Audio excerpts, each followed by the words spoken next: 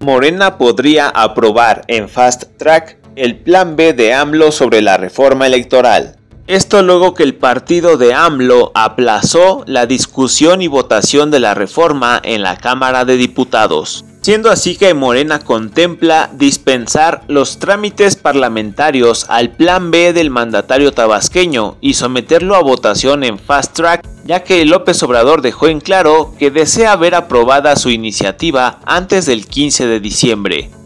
Cabe señalar que AMLO anunció que este fin de semana podría enviar al Congreso su iniciativa de reformas a las leyes secundarias en materia electoral, luego que los partidos de oposición se mantuvieron firmes en su rechazo a los cambios a la Constitución para modificar el andamiaje electoral del país.